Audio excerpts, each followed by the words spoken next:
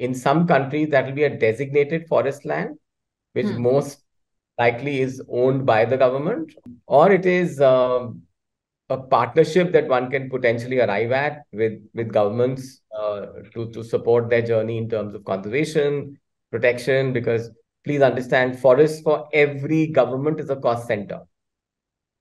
Mm. Right, forests don't make revenues for com- for of governments. Course. Yeah. So our pitch to several governments has been that look, allow us to come in. Uh, we will create a funding mechanism for you. There are many mavericks like us all over the world who are keen to get involved we'll we'll come up with a monetization mechanism and uh, further conservation interest but it's an exhausting journey